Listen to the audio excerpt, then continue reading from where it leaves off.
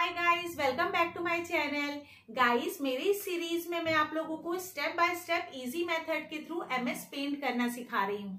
मगर class start होने से पहले प्लीज़ मेरे चैनल को लाइक शेयर और सब्सक्राइब ज़रूर कर दीजिएगा। और अगर आप चाहते हैं आप मेरी वीडियो सबसे पहले देखें तो बेल आइकन को प्रेस करना मत भूलिएगा। और फ्रेंड्स अगर आप चाहते हैं कि आपके बच्चे अबेकस का कोर्स करके बड़े बड़े नंबरों का कैलकुलेशन माइंड में ही विद इन सेकेंड्स कर पाए तो हमारे इंस्टीट्यूट एवा एकेडमी में फ्री डेमो क्लास ज़रूर बुक कर लीजिएगा। और अगर आप चाहते हैं कि आपके बच्चे कोडिंग क्लासेस करके बचपन में ही गेम डेवलपर बने तो इंट्रोडक्टरी क्लास ज़रूर बुक कर लीजिएगा। फ़ोन नंबर स्क्रीन पर डिस्प्ले हो रहा है। तो चलिए अब हम क्लास स्टार्ट करते हैं।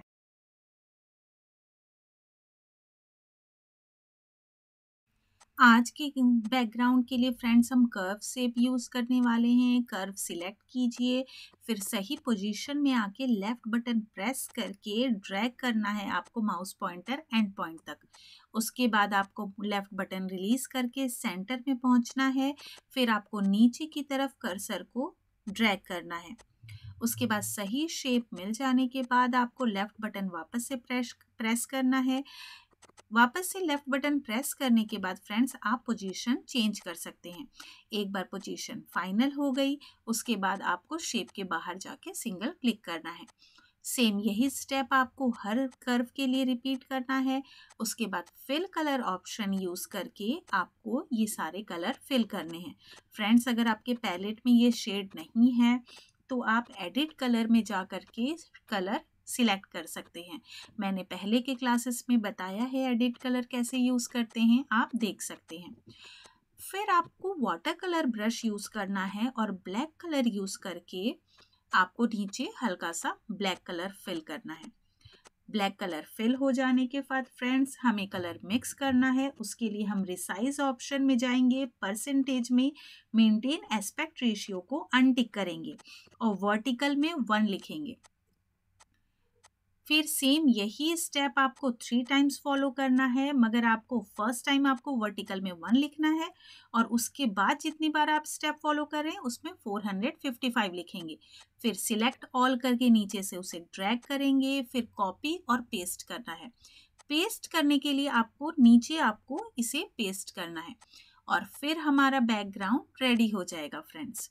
बैकग्राउंड रेडी होने के बाद हमें ब्लैक कलर से नीचे लाइन बनानी है फ्रेंड्स मिडल में।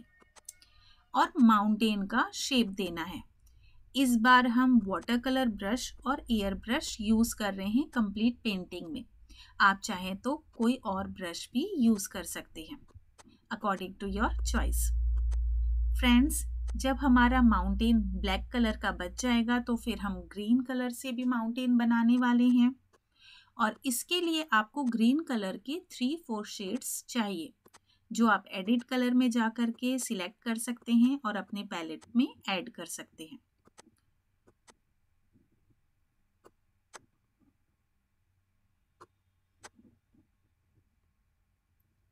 फ्रेंड्स कोई भी ड्राइंग बनाने के लिए आपको लेफ़्ट बटन को प्रेस करके माउस को ड्रैग करते जाना है तो जहाँ जहाँ आप ड्रैग करते हैं, वहाँ वहाँ कलर फिल हो जाता है। इस तरीके से हमें माउंटेन्स बनाने हैं फ्रेंड्स और माउंटेन बनाने का एक सिंपल ट्रिक है कि आप सेम शेड सेम कलर के तीन चार आसपास के शेड ले लें, ठीक है? और फिर उसे मिक्स करें और मिक्स करने के बाद लास्ट में एयर ब्रश से जहाँ जहाँ लाइन क्लियर दिखाई दे रही है, वहाँ एयर ब्रश से जिस कलर की लाइन है, उससे मिलते जुलते शेड से एयर ब्रश से फिल करें। इससे लाइन क्लियर नहीं दिखेगी और ऐसा लगेगा आपने बहुत अच्छे से कलर को मिक्स किया है।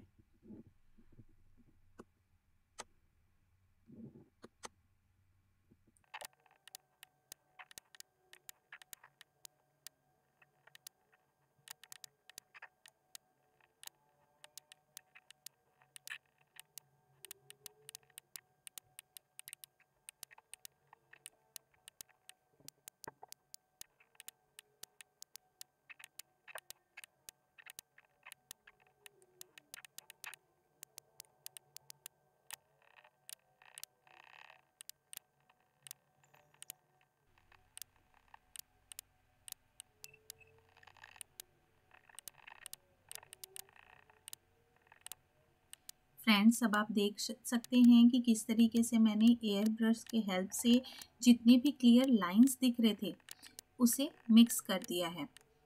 बहुत सिंपल सा ट्रिक है फ्रेंड्स जिस कलर की लाइन है उससे एक सेड डार्क या एक सेड लाइट आपको एयर ब्रश यूज़ करना है, जहाँ पे भी आप यूज़ करेंगे, वहाँ पे बहुत अच्छा सा कलर मिक्स का शेड आ जाएगा। सेम यही चीज़ आपको माउंटेन में भी और ब्लैक वाले माउंटेन में भी यूज़ करना है। आज हमने एयर ब्रश का बहुत सारा यूज़ किया है और जितनी ज़्यादा जगह आप यूज़ करेंगे और जितना ज़्यादा कलर में, कलर के शेड्स में डिफरेंस रखेंगे, उतना ज़्यादा ब्यूटीफुल बनेगा।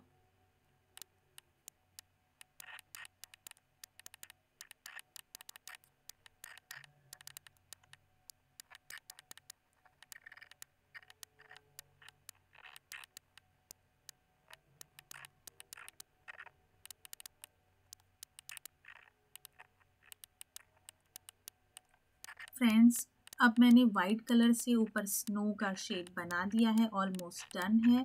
अब मून बनाना है। मून बनाने के लिए फ्रेंड्स आपको फिल में सॉलिड कलर और आउटलाइन में नो आउटलाइन सिलेक्ट करना है। अगर आप ये दोनों ऑप्शन यूज़ नहीं करते हैं और बकेट वाले फिल कलर से शेप बनाने का सोचते हैं तो ये ऑप्शन नहीं यूज़ हो पाएगा। एक बार जब हम बैकग्राउंड में कलर मिक्स कर लेते हैं तो ये ऑप्शन काम नहीं करता।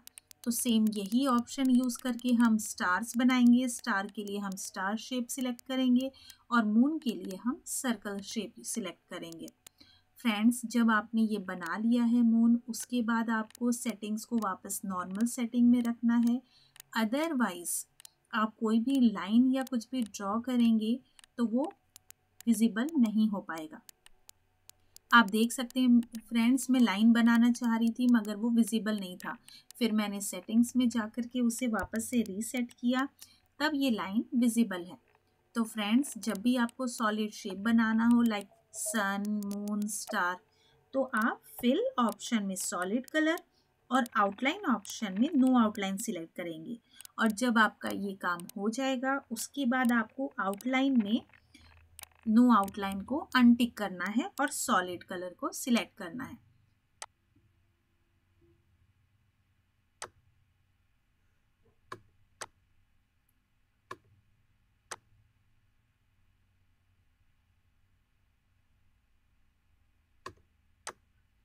फ्रेंड्स, बोर्ड के नीचे भी मैंने एयर ब्रश यूज़ किया है हाईलाइट करने के लिए, क्योंकि जब भी कोई बोट चलाता है तो नीचे पानी में मूवमेंट होता है। तो उसे ही हाईलाइट करने के लिए हमने एयर ब्रश यूज़ किया है।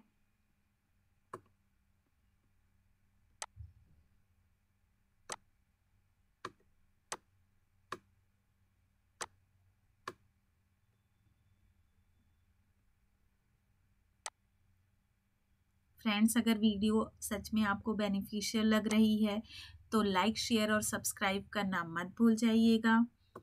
और लास्ट में पेंटिंग कंप्लीट होने के बाद में सेव करना मत भूलिएगा।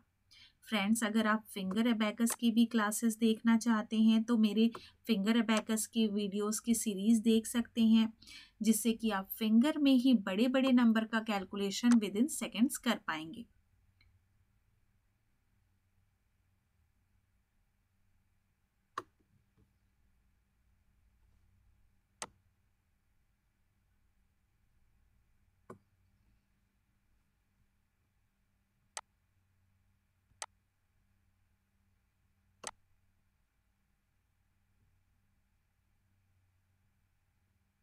अब पेंटिंग ऑलमोस्ट डन हो गई है फ्रेंड्स चाहे तो आप इसमें और भी चीज़ें ऐड कर सकते हैं. लाइक आप बर्ड्स भी ऐड कर सकते हैं और भी बोट्स ऐड कर सकते हैं और पानी में मूवमेंट भी शो कर सकते हैं. और लास्ट में सेव ऑप्शन क्लिक करके ड्राइंग को सेव करना ज़रूर याद रखिएगा. Stay tune friends see you in the next video bye bye